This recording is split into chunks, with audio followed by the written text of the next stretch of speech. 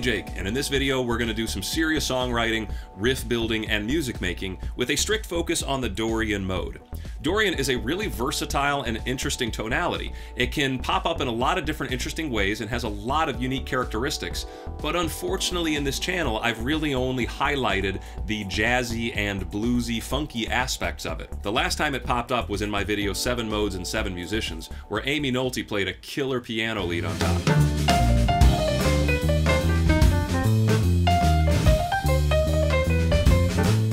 If we go way back to my video on Hemiola, I did a Dorian jam there as well, and you can hear it has this smoky salsa jazz club kind of vibe to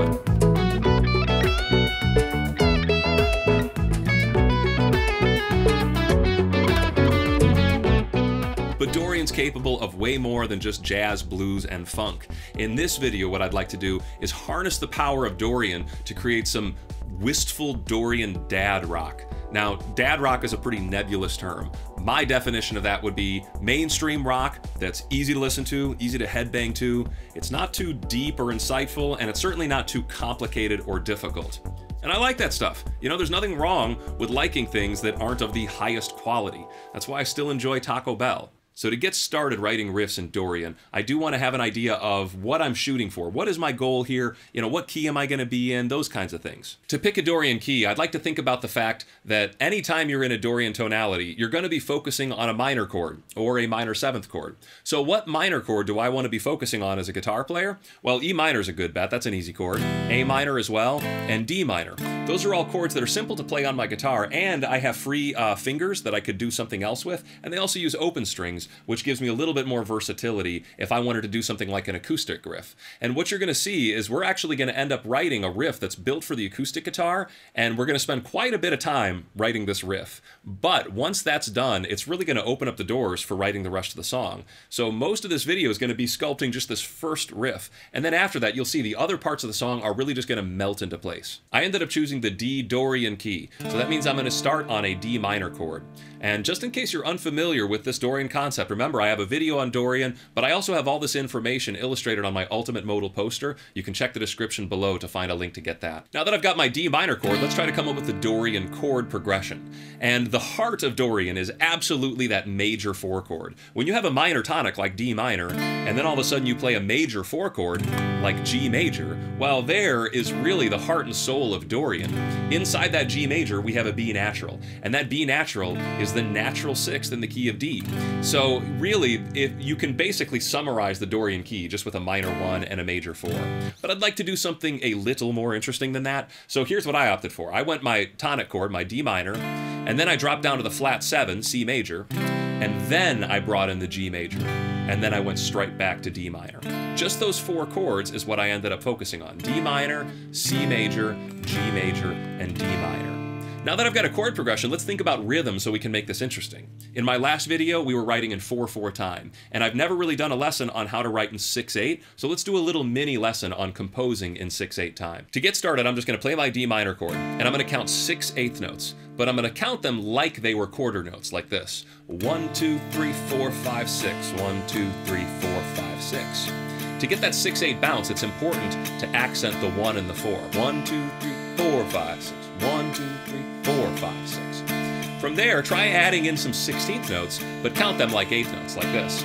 You'd have 1, 2, and 3, and 4, 5, and 6, and 1, 2, and 3, and 4, 5, and 6. And you can do different variations of that. 1, 2, and 3, 4, 5, 6. 1, 2, and 3, 4, 5, 6. By dropping some of the downbeats, you'll end up with some syncopation. 1, 2, and, and 4, 5, 6. 1, 2, and, and 4, 5, and 6. 1, 2, and, and 4. So really, any combination of those strumming patterns is going to work fine in 6-8, as long as you've got that nice bounce between the two halves of your 6-8 pattern. What I ended up settling on is a very simple 1, 2, and 3, and 4, 5, and 6, and 1, 2, and 3, and 4, 5, and 6. And also, as a guitar player, it's a good idea to only play the bass notes sometimes, just to kind of get a little bit more of that bounce going. So I've got 1, 2, and 3, and 4, 5, and 6, and 1, 2, and 3, and 4. I could even alternate the bass. There you go. And it gets, once again, you can hear that kind of that storytelling, adventurous kind of vibe going. 6 8 time works really good for any time you're trying to kind of keep the story moving. I think it works really good for folk music, and I think 6 8 combined with Dorian is like a perfect combination if you want to kind of get some tale telling vibes going. So now I've got my strumming pattern, I've got my chord progression. Combining the two gives us this D minor, C major, G major, D minor. And that sounds awesome. But I kind of got sick of all that D minor, so at the very last moment, I crammed in a really quick C major like this. One, two, and three, and four, five, six, one, two, and three, and four. And that just helps break up the monotony of not having two measures of D minor all the way through. One, two, three, four, five, six, one.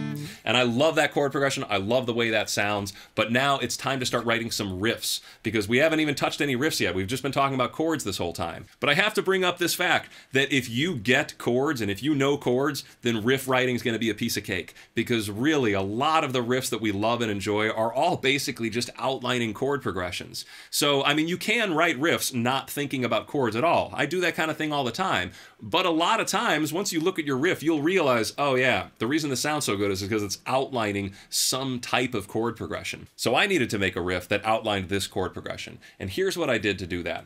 On the first chord is a D minor, so I play a D note. And when that second measure comes around, it's the chord C. So I wanted to make sure my riff played the note C.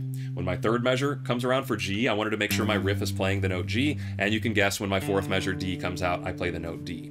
So all I had to do as a riff writer is find a way to bridge those gaps. How do I get from this note to this note to this note? I obviously want to be thinking of the Dorian scale the whole time. So if I'm in 6-8, how do I get from here, D, to here, C? Well, I have a whole measure to get there. So I could do something like 1, 2, 3, 4, 5, 6, 1. And then if I wanted to, I could just hang out there and then I could just go to the G. One, two, three, four, five, six, one. Right? So there's a million options I could do. Basically, I mean, I could spend all day coming up with ways to get from these notes. You know, what is my path to get through these notes? Here's what I settled on. It went from D, and then it was A, G, F, C.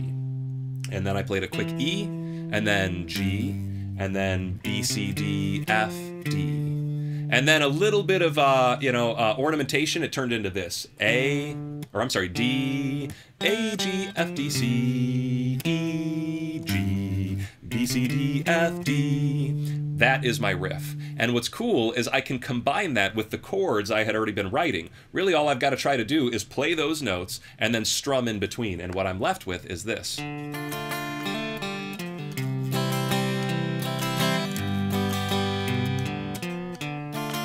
And that was the riff that I ended up writing. It's an acoustic riff. It's meant to be strummed and played at the same time. And I really, really liked it. To me, the riff was done. However, it's got a little bit of a gap here at the end that I really don't like. I don't like after this. There's nothing going on. And I felt it needed something there. So I just did a throwaway lick, just something to kind of fill up the space, and it's just pentatonic minor. It's a pentatonic minor lick that just goes. And pentatonic minor is great when you're in the Dorian mode because if you take the second note out of the Dorian mode and the sixth note out of the Dorian mode, well, hey, you got a pentatonic minor scale. So anytime you're in a Dorian tonality, it's heavily advised you try playing around with pentatonic because it's going to fit in there just fine. It's certainly not going to promote that Dorian feel because it doesn't have that sixth in there, but it works great and it gives you that bluesy pentatonic minor feel. So the entire riff now sounds like this D minor, C, G, D, and then again. And I think that sounds like a million bucks. And I also thought it would serve great as the intro to a song. So here's what I ended up doing is just recording that exact part on an acoustic guitar.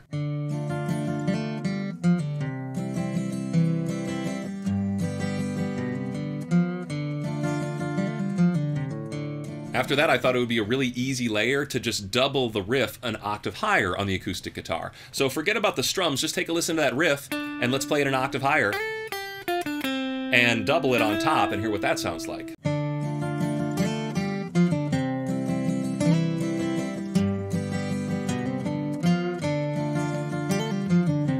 I figured that would be the very beginning of the song, and let's just do it all over again, but add a little bit of bass guitar, add a little bit of drums, and some really, really quiet glockenspiel. I know that's a trendy instrument that keeps popping up these days, and I thought it would work really well here.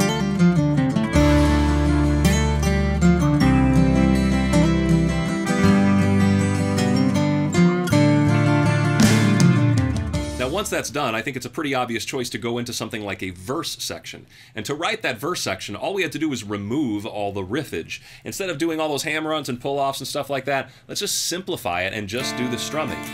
D minor, C major, G major, to D minor.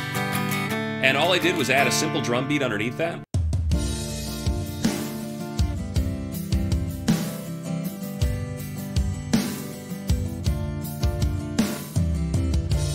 And for the bass line, the bass really just kind of floats around the root notes of each of those chords, nothing too complicated. However, there's just little moments where it steals from the riff we just wrote. And I kind of like that. I like when instruments kind of borrow from each other or different sections borrow from each other.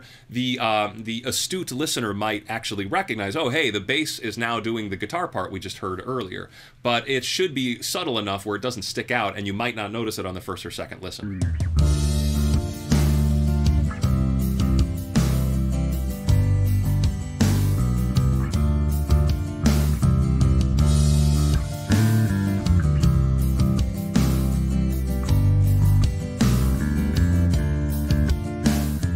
So now I've got this really cool groove section. It's just begging for some vocals on top. I know in the last video I said I don't want to do singing or vocals because it takes too much time, but I really couldn't resist in this case. I thought I could get away with some James Hetfield style singing on top of this. So I wrote some lyrics and uh, the melody is all in the Dorian scale. It doesn't leave Dorian. Um, and the lyrics don't make a lot of sense. They just they just feel good. I like the way the words sounded next to each other, so I just kept it like that. In the cold of the morning, far north of here the man in the mask moves along.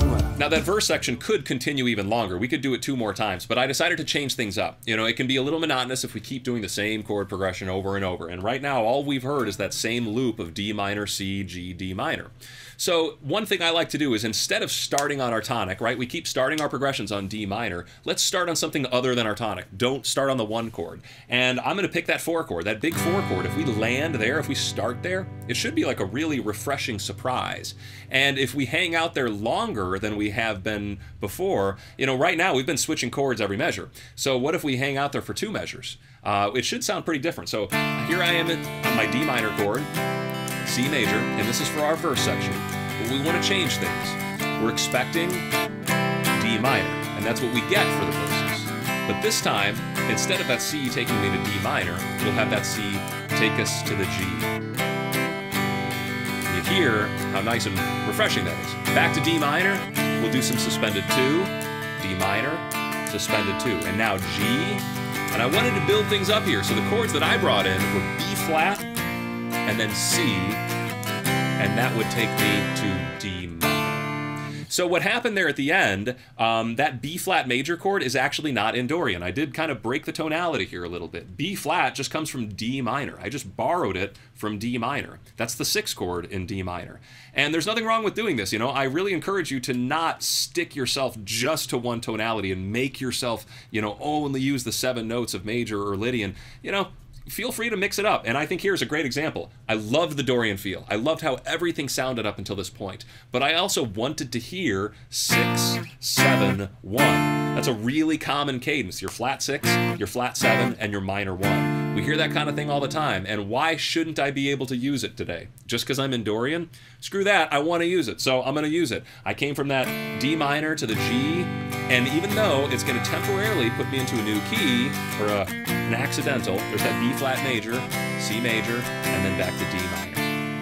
Since there's no like harmonies on top of that part, it's going to be pretty easy to accommodate. I'm just going to have my vocals, um, you know, not clash with that chord. If there was any B flats, um, or if there were any Bs that were being played over that, we'd want to switch them to B flats just so they match that chord. Now that obviously builds us up towards something, but what does it build us up to? Well, I decided for like a chorus, but with just no singing. So let's take that riff we wrote at the beginning, the acoustic riff, and let's just electrify it instead by throwing distortion on it and kind of playing it one note at a time little bit of vibrato on each note, and we'll also have uh, power chords being playing those same chords in the background while the acoustics are strumming. It should be this really big, epic dad rock chorus. I'm kind of thinking of like Simple Man by Lynyrd Skynyrd, um, just a little heavy.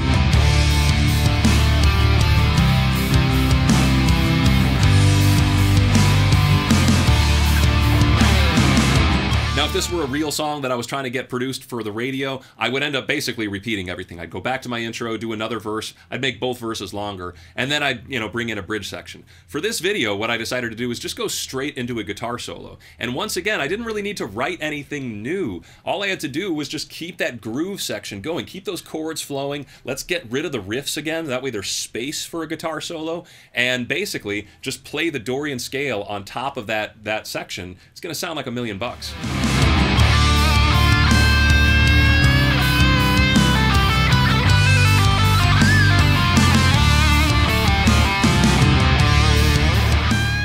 Once the solo's done, I just go back to the intro to close things off. So now let's listen to these sections all together as I proudly present to you my debut Dorian Dad Rock demo, Willing to Bleed.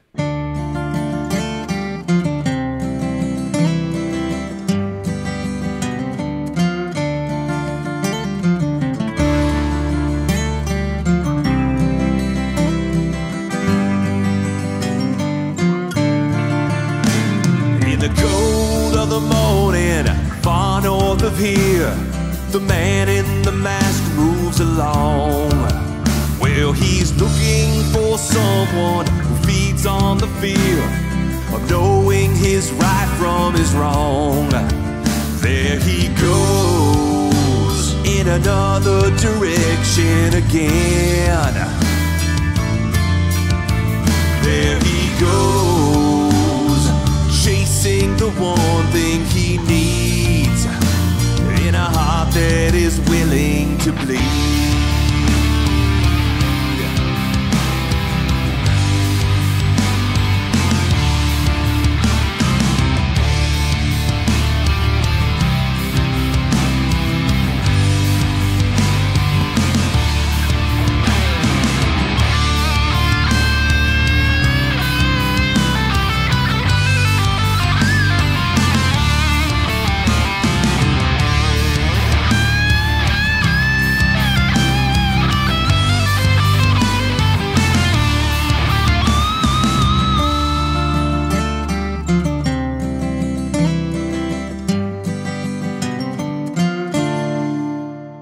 Not a dad, but that felt like dad rock to me, and I really dig it. Before I close out this video, though, I really want to go into some detail about this whole Dorian versus minor thing. There's a lot of mm-hmm. people that would say, Jake, you're not writing with Dorian, you're just writing with minor, and you're using a lot of the major sixth. And I understand that perspective, and I also hate that perspective. I feel like it totally misses out on the idea of a tonality. The idea of saying, I'm mm-hmm. only going to use these seven notes, and when I do that, look at all the cool colors that appear, look at all the cool imagery and all the cool flavors and tastes that come out of that that.